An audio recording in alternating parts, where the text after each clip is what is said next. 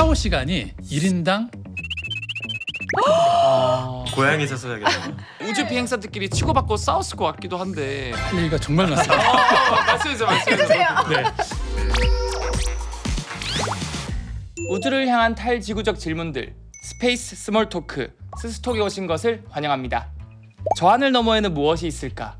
인류는 아주 오래전부터 하늘을 바라보며 별을 동경했고 그곳에 다 우주를 이해하고 싶어 했습니다. 그리고 그 여정은 지금도 계속되고 있죠. 이 질문에 대한 답을 찾기 위해 오늘 특별한 세 분을 모셨습니다. 우주의 신비와 낭만을 이야기하는 과학 크리에이터 우주먼지 지웅배님입니다. 네, 반갑습니다. 은하를 연구하는 우주먼지 지웅배입니다.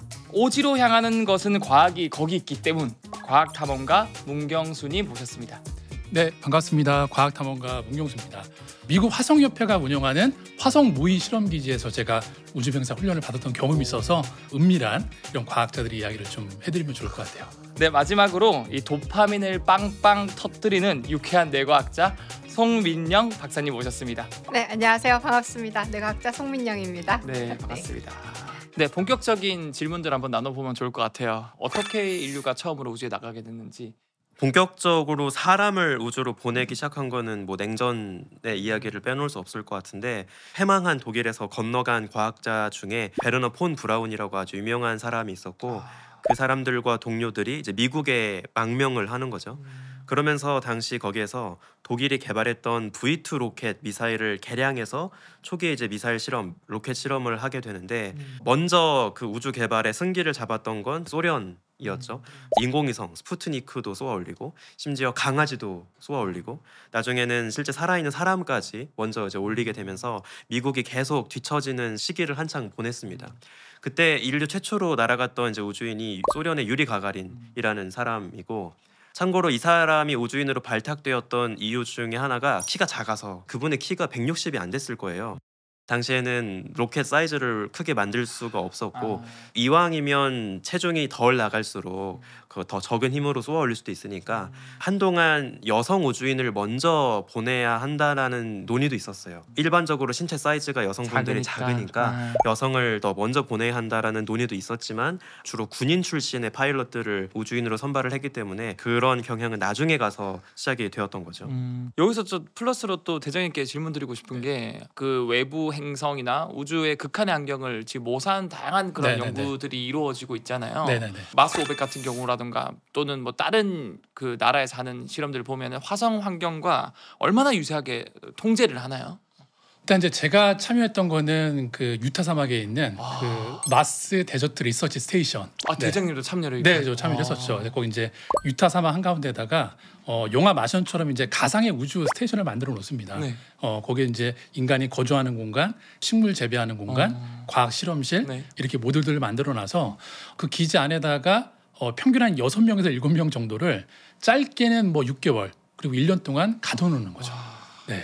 근데 문제는 뭐냐면 면적이 이제 12, 평밖에 안 되는데 일곱 명이 살아야 되잖아요. 아이고. 자, 그러면 일단 파티션을 여섯 개를 일곱 개 자르면은 방 하나당 면적은 어 1.2평에서 3평입니다. 네. 그래서 제가 덩치가 작은 편은 아닌데 네. 눕고 옆에 신발 벗어놓으면 공간이 없어요. 없어요. 아, 그렇다고 뭐 쉬는 시간에 밖에 편하게 나가느냐? 아닙니다. 그렇죠. 여기는 어쨌든 화성이다라고 가성 가상으로 설정을 해 놨기 때문에 음. 나갈 때는 또 선의 우주복, 네 헬멧 입고, 쓰고 와. 생명 유지장치 등에 메고 기지 보수 공사도 하고 과학 실험하고 여기서 사실 제일 견디기 힘든 게 그 제약 조건이에요. 화성에 가면은 당연하게 이제 여러 가지 리소스가 부족하겠죠. 네 그렇기 때문에 어 거기에 여러 가지 제약 조건 매뉴얼이 있는데 가장 극악이었던 게 한 가지가 있는데요. 뭐냐면 샤워는 거의 뭐 이틀에 한 번 할 수 있거든요. 네. 근데 샤워 시간이 1인당 3분. 아, 고양이에서 써야겠다. 거의 뭐 고양이 세수 정도죠. 근데 생각을 해보면은 어, 물이 부족해서 그런 거 아니냐 그럴 수도 있죠. 네. 근데 어쨌든 여기는 지구의 실험실이기 때문에 음. 어, 이 기지 바깥에 거대한 물탱크가 있습니다. 네.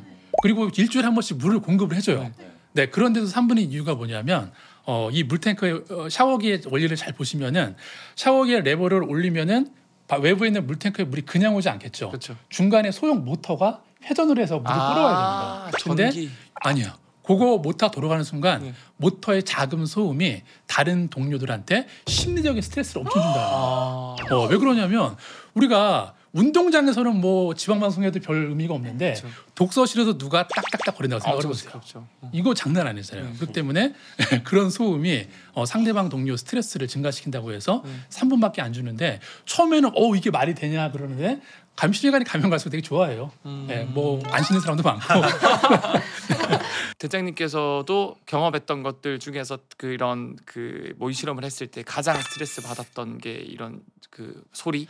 네 그런 소리도 소리인데 아 이게 모르는 사람이 일곱 명이 산다는 게 저는 사실 뭐 약식으로 한 2주 정도밖에 있지 않았지만 그게 정말 스트레스거든요. 아. 어, 일예로 그 어, 모의 실험실에 오려면 똑같이 과학자들이 하는 것처럼 제안서 써서 억셉트가 돼야지만 실험을 할 수가 있거든요.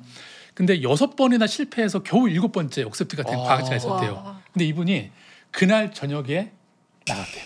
아. 답답해서. 야 이거는 내가 이거 실험 안 해도 보니까 나가야 되겠다. 아이고. 네, 그 정도의 압박감을 느끼는 건데 사실 저는 별 걱정을 안 했어요. 왜냐하면 아니 뭐 세상 옷이 험한데 다 다녀봤는데 이렇게 편안한 실내 공간에서 침대에 누워 자는데 뭐가 힘들까 싶었는데 네. 어, 저도 하루 만에 멘탈이 나가더라고요. 와. 어, 왜냐하면 창문은 벽시계만한 동그란 창문 하나밖에 없고요. 아. 그리고 시계도 지구의 시간이 아닙니다. 우리는 10분 시계를 쓰잖아요. 아. 거기는 화성 솔 시계를 써요. 아, 네. 24시간 네, 30분. 그렇죠. 30분. 거기부터 좀 의지감 생기고 네. 여기 안에 또 다른 매뉴얼이 뭐냐면 우리는 이제 일상생활에서 서로 다투면 야 그냥 악수하고 풀어 이러고 네. 말잖아요. 네. 거기는 왜 이런 문제가 발생했는지 이 원인을 micro하게 분석을 해요. 아. 그다음에 자정 넘어가기 전에 commander 입회 하에 네. 이런 일이 다시 벌어지지 않으려면 어떤 매뉴얼을 또 우리가 원칙을 와. 만들어야 되냐. 아. 요게 세팅이 안 되면 다음 안 넘어가요. 100% T만 갈 수 있겠네요. 그러니까요. 그- 그러니까 아까 자발적으로 의도적으로 친해지라고 한 이유가 뭐냐면 친해지기 싫어도 친해져야지. 아, 싸우면 안 돼 절대로. 네, 어. 공통의 미션을 시- 실제로 싸우는 경우 있나요? 할 얘기가 정말 많습니다. 어, 말씀해주세요, 말씀해주세요. 네. 아 근데 진짜 궁금한 게 우주 비행사들끼리 치고받고 싸웠을 것 같기도 한데. 어쨌든 실험이긴 하지만 누가 가라고 떠민 게 아니잖아요. 자발적 고립 상태를 내가 선택을 한 거예요. 아 일단 선택을 했다. 아. 불협화음 상황에서 네. 어떻게 이 문제를 다시 해결. 일어나지 않게 아. 해결하느냐. 네, 요게 더 챌린지인 거죠. 네. 그러면 송민효 박사님께 여쭤보고 싶어요. 이 환경에 따라 인간의 정서나 행동이 바뀌기도 하나요? 많이 바뀝니다. 어. 네. 그래서 주변에 초록초록한 공원이 있다거나 아니면 내가 초록색을 볼 수 있는 곳에 있다거나 네. 그러니까 이런 사람일수록 우울증에 걸릴 확률도 낮고요. 어. 이런 정서적인 스트레스가 적다 보니까 지능도 좀 높아지고요. 코르티솔 분비도 낮아지고요. 그 스트레스 호르몬이 코티솔 분비도 낮아진다. 네, 그렇죠. 나이 드신 분들 같은 경우에는 dementia, 인지 능력의 저하도 훨씬 더 늦어진다라고요. 아, 저 하나 궁금한 게 네. 그게 초록색이어야 중요한 거예요? 아니면 식물인 게 중요한 거예요? 중요한, 네, 제가 와. 명확하지 않았네요. 네. 식물인 게 중요합니다. 아 그래요? 아, 네, 네. 그럼 가짜 식물인 게, 초록은 네. 영향이 덜한 거예요? 가짜 초록도 영향이 덜하지만 있대요. 음. 그래서 제가 이번에 뭐 우주 관련해서 찾아볼 때 들어보니까 우주에 있는 사람들한테도 정기적으로 심리적인 안정을 위해서 virtual reality VR로 아. 숲 같은 거, 숲 자연 같은 이런 거. 거 초록초록한 걸 보여준대요. 음.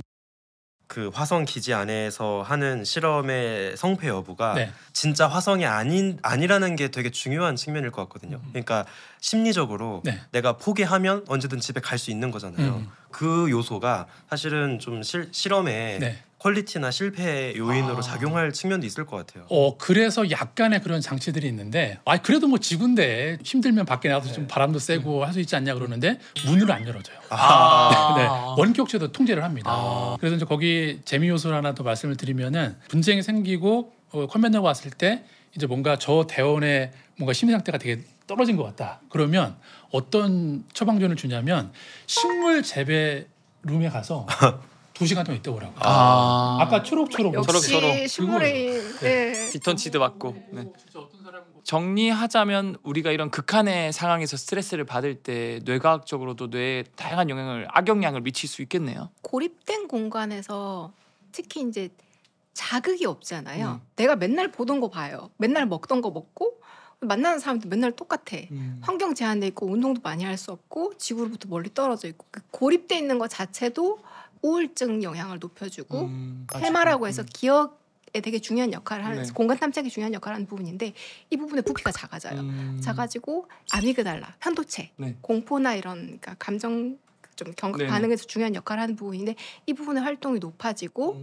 디멘시아 같은 경우에는 고립이 오래 그러니까 고립이 오래되면 사- 디멘시아 위험이 40%까지 높아진대요. 아. 나이 드신 분들한테서는. 근데 그 고립이란 거 자체가 그 고립의 환경이 중요한 거 아니면 거기에 처한 사람의 그 마인드가 중요한 거예요. 진짜 중요합니다. 아, 아. 너무 중요한 질문을 왜냐면 해주네요. 저는 네. 고립을 되게 좋아하거든요.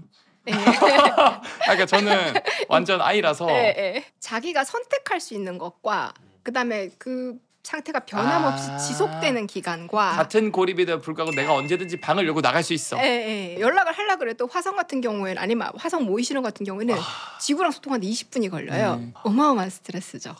또 궁금한 게 사실 유타 사막이라던가 네. 아니면 하와이 쪽이라던가 네. 이런 화성과 비슷한 환경을 우리 지구에서도 기지를 건설해서 네. 실험하고 있다고 말씀해 주셨잖아요. 네. 또 적합한 곳이 뭐 더 있다면 추천해 주실 만한 곳이 있나요? 어 일단 이제 그런 지역들이 이제 몇 군데가 있어요. 대표적인 곳이 뭐 유타 사막에도 있고 네. 뭐 하와이 산 정상에도 있고 뭐 캐나다 극지방에도 있는데 어 그렇게 여러 군데를 운영하는 이유는 뭐냐면 사실 우리가 어느 지역에 착륙할지 모르잖아요. 그쵸. 뭐 화성을 예로 든다 치면은 뭐 그냥 화성에 그냥 뭐 적도 부근에 착륙을 한다. 네. 그러면 유타 사막의 지형이 되게 유사하니까 아, 비슷할 테고.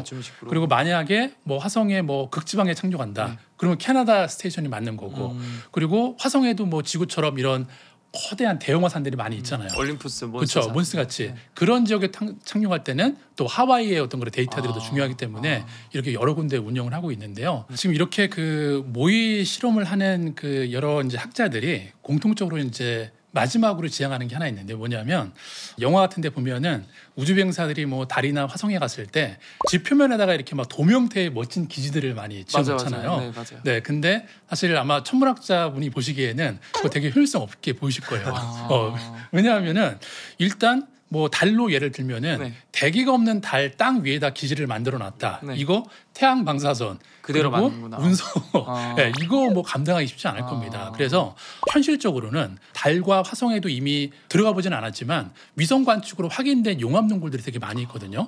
그럼 아. 용암 동굴 안에다가 스테이션을 지어야지만 이 동굴 천장이 방사선과 운석을 차폐해주기 때문에 우와. 그나마 생존율이 어, 최소한 어쨌든 1년 가까이라도 어, 되지 않을까라고 이제 얘기를 하고 있는데 네.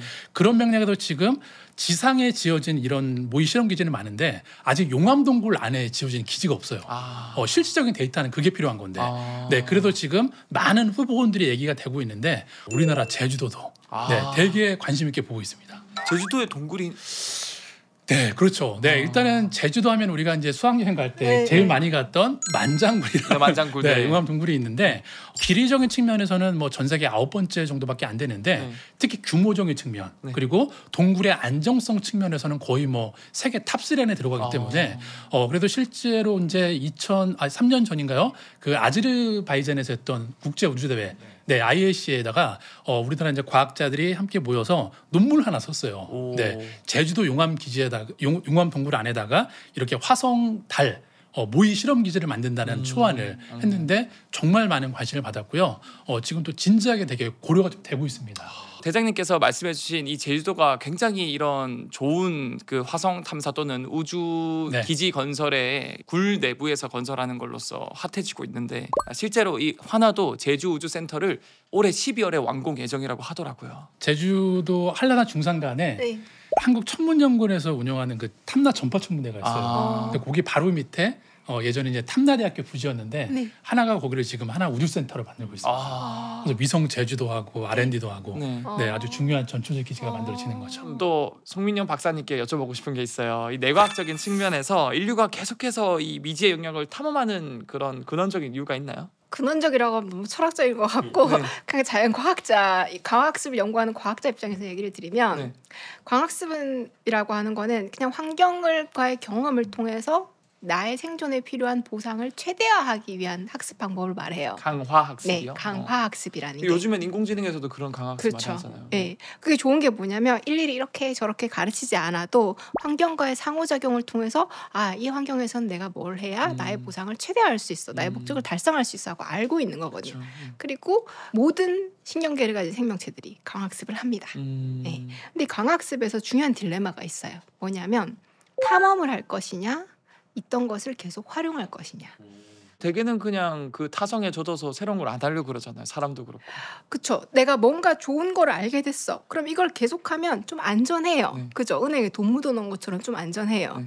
근데 뭔가 새로운 걸 도전하면은 요거보다 더 높은 효율로 뭔가 더 좋은 거를 음. 얻게 될 수 있는 가능성이 높단 말이에요. 네. 이두 개의 균형을 어떻게 하면 최적으로 맞출 수 있을지는 아직도 인공지능 분야에서도 뇌과학 분야에서도 잘 알려지지 아. 않았어요. 우리는 우리 삶에서 항상 조금씩 도전을 해왔어요. 음. 왜냐하면 도파민이라고 하는 물질이 뭔가 새로운 걸 탐색해보고 좀 약간 흥분하고 새로운 거 좋아하고 음. 이런 거랑 관련되거든요. 네. 하루못해 음식점에 가서 처음 보는 음식을 보고 이게 뭐야? 하고 먹어보는 아, 거. 그것도? 탐험이죠. 음. 네. 그러니까 그렇게 나의 삶의 범위를 확장시키면서 우리는 살아왔고 음. 우주 탐험도 그 연장성을 있는 것 같아요. 아, 그러면 이 도파민이라는 게 대중들이 좀 잘못 알고 있네요. 도파민은 뭐 쾌락 호르몬, 행복 호르몬이라고 하지만 그것보다는 내가 뭔가 행위를 했을 때 기분 좋음이나 이득을 얻었을 때 그걸 다시 하게끔 도와주는 거라고. 훨씬 정확합니다. 아, 네. 그 행복 호르몬은 잘못됐고요. 한 20여 년 전에 행복 호르몬은 아니야라고 땅땅땅 결론이 났어요. 네. 일단 호르몬도 아니지만 네. 도파민은 뭐냐면 내가 예상하는 게 현실하고 가까워질수록 나는 현실에 더 맞게 현명한 선택을 할 수 있잖아요. 네. 그래서 나의 예상은 항상 현실에 변해가는 현실에 맞게 잘 이렇게 맞춰져 가야 돼요. 네. 그러려면 뭐가 있어야 되냐? 예측의 오류를 신호할 수 있는 뭔가가 있어야 돼요. 음, 어 예상보다 좋아, 예상보다 나빠. 음. 근데 이 예상보다 좋아, 나빠를 신호해 주는 게 도파민입니다. 아, 요즘 특히나 우리가 도파민이라는 키워드에 민감하고 그걸 자주 이야기하는 건 좀 우리 세상이 예측 가능성이 떨어졌다고 봐야 되나요? 예측 가능성이 떨어졌다기보다는 도파민이라는 키워드가 오용되고 있는 거죠. 아. 네.